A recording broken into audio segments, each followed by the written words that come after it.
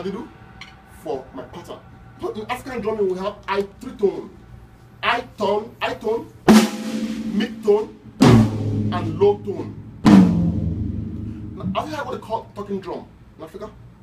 Talking drum. You have talking drum.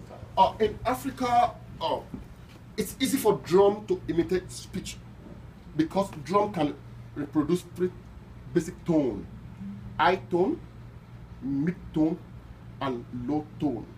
So I use my snare drum for high tone, and I, I use my tom size eight or size uh, size eight or ten or twelve for mid tone, my size fourteen and sixteen for low tone. So three tone in African drumming, three tone for speech: high tone, mid tone, or low tone.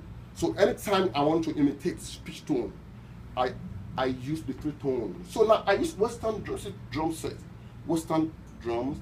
I use it to um, as medium of expression for African music. So we call it cross-cultural aesthetic communication. So ba- why I use basic tone? So I, I use Western drum to represent African drum by using three basic tones: high tone, mid tone, and low tone. So very soon I'll be inviting on stage now a friend of mine. Uh, we want to have what they call cross-cultural aesthetic communication. But before I invite him on stage, uh, I want you guys to have, have a question on this before. I